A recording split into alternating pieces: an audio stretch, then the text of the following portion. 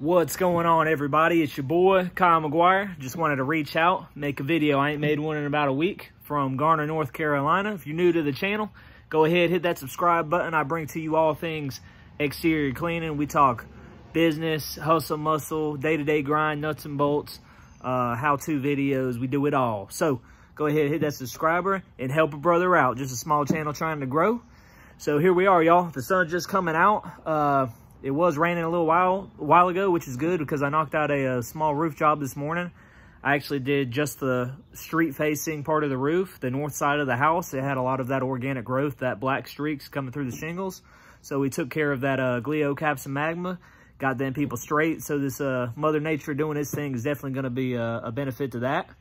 And uh, after after I did that roof job this morning, um, went out, did some estimates. So if you follow my channel, you know I got a full-time gig.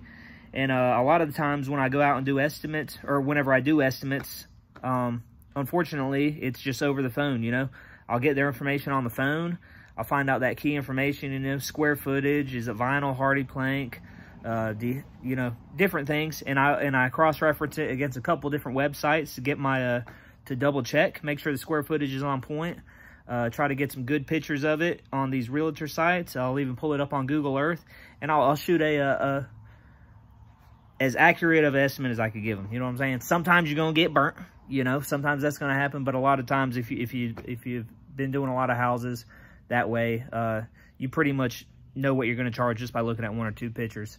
So uh, today had the benefit of going out and doing some estimates in person, which is huge because uh, it, it goes with two things I want to talk about today, and that is customer retention and educating the customer. All right, now these two things go hand in hand, and it's very important for your business for a lot of reasons. So let's dive into it. Educating the customer. Now, it's a lot easier to do this whenever you're doing an estimate in person.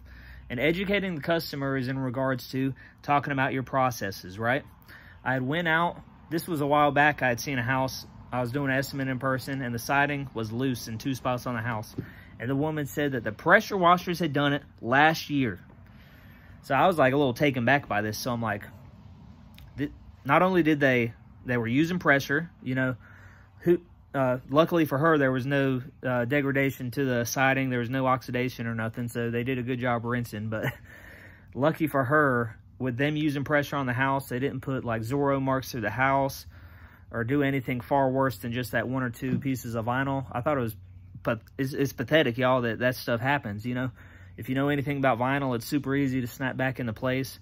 So anyway, uh, did that estimate, snapped that vinyl back into place with her, but I built that value by educating her on my processes, letting her know that nine times out of 10, I don't even use ladders. I'm doing, on a two-story house like hers, uh, I'm, I'm shooting from the ground, y'all. I'm, I'm spraying my uh, proprietary algicide from the ground at low pressure, right? It's gonna take, it's gonna kill all that organic growth. I'm gonna come back at low pressure and do my rinsing. All this at a very, very low uh, risk of damaging a property. You know, and, and then I'll kind of go into depth about like a little bit of horror stories. You know, she already knows what, what high pressure can do, but I'll go into more depth and talk about the different things that high pressure can do damaging wood, damaging siding. Uh, if you already have bad paint, how it could rip paint up. So there's there's a multitude of things that could go wrong. So I like to educate the customer. And whenever you do this, you're building value, but more importantly, you're building trust. So that's the key thing. Whenever you educate them, you're building trust and it goes hand in hand with customer retention. So I really like doing those estimates in person. That way I could uh, build some value, talk myself up, talk my company and my processes up. But uh, it's it's it's for that one goal of retaining these customers. Once you, once I win them over, right, with the estimate, uh, I want to do the work. I want to do a good job, and I want to retain these customers. It's been a a big goal of mine ever since I, I got off the ground, and I urge you to uh, implement this if you're not already doing it. Whenever you're doing jobs, especially if they're these really high ticket ones, they're they're the type of people you know are going to uh, regularly maintain their property at a, at a consistent basis, you know, once or twice a year.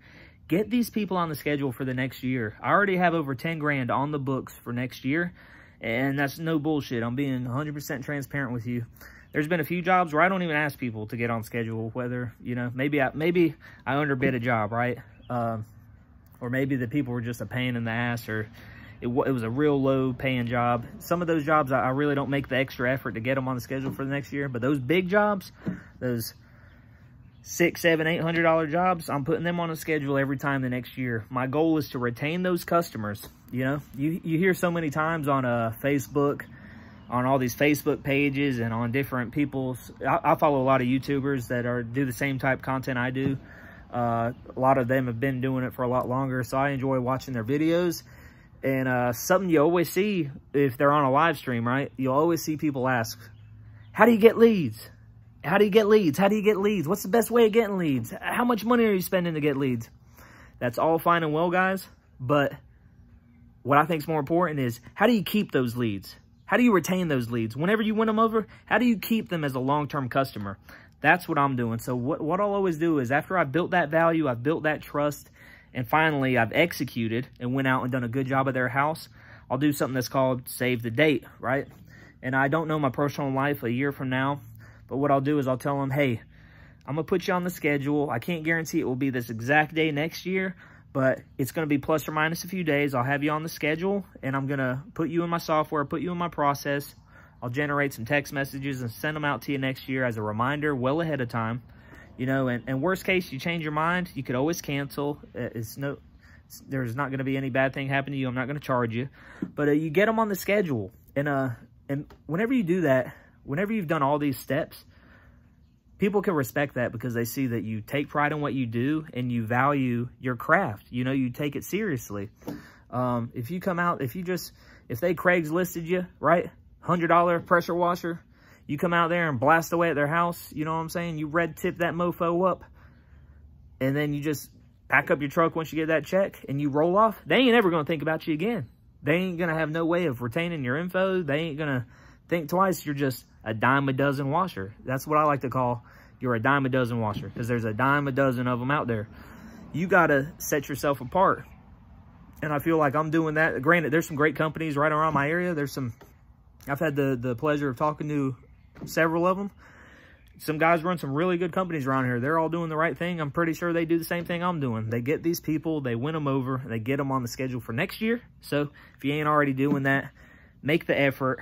Uh, try to retain those customers. It, it's crucial. I can't tell you how good of a feeling it's going to be next year whenever you're not worrying about, man, how, how am I going to get work? I, I'm slow, y'all. I ain't got no jobs coming in. Well, if you would have done things right a year ago, you would have had these people freaking calling you, yo. Or like you, you, they would already be on the schedule. You would already have that money to look forward to. Granted, they could always cancel, but nine times out of 10, you're going to get those people and, and you're, and you're going to win them over if you do everything right. So, uh, some final words before I get up off of here. Uh, you could still build value. You could still educate your customers without being in person. So don't get me wrong. You, you could do this over the phone too, y'all. I'm part-time. I got a full-time gig.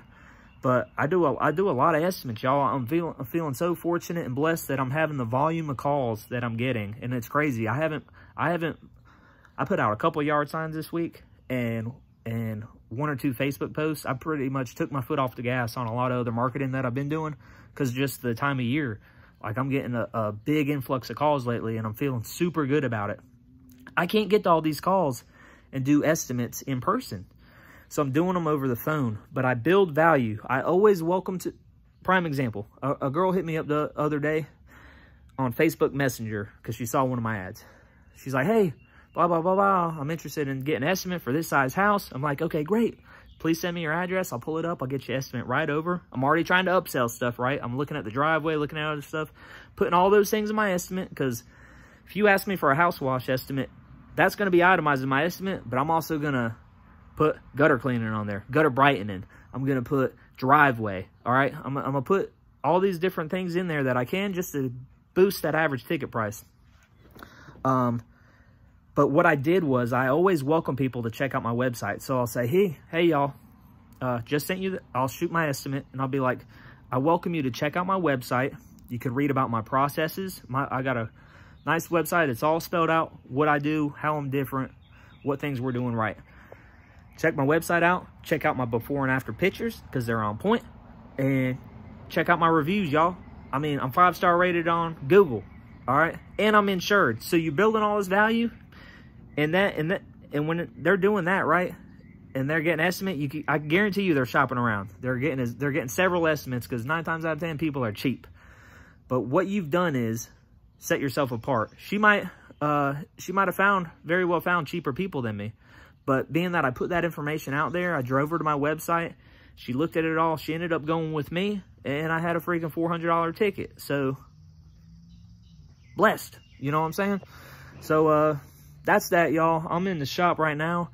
Uh, COVID-19 has still got me working from home. Like, I, it's crazy. Uh, got a full-time job, but nine times out of 10, I mean, I'm supposed to work Monday through Thursday. I ain't even been going to work, y'all, at my main job because this coronavirus. Uh, they've had us, I'm, I'm, a maintenance tech, so whenever stuff breaks, they call me. Nine times out of ten, it's in the middle of the night, which is good because I've been washing my ass off for the past two months. I feel like I'm a full-time washer. I've been out here getting after it. It feels good. But, uh, so I got a real busy week. I'm already booked out this whole week, and, uh, just having a good day, y'all. Uh, did did did that roof job, did some estimates, and uh, North Carolina has opened up restaurants at limited capacity. So I was driving down uh, Wake Forest Road, and it was like a beacon of light, y'all, a beacon of light calling to me, Hooters. And your boy done pulled up in there, sat at the bar, had a cold beer, you know, good good drink, cold drinks, good food, good scenery. So now I'm just chilling. I'm about to get the truck ready. Um, yeah blessed. I'll get with y'all. Peace.